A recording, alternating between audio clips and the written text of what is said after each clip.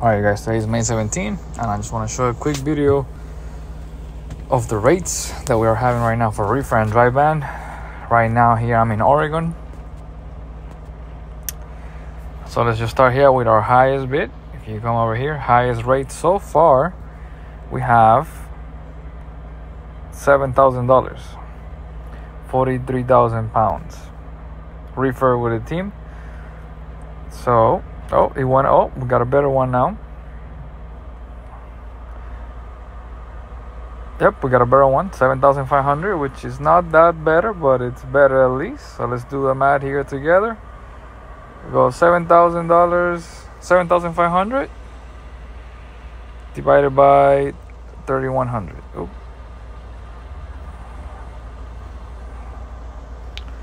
And this is a $2.42 for reefer rate uh, the, our annual rate right now or average it's 3000 3.15 cents for the reefer. So they are right now in oregon they're not paying anything for reefer loads.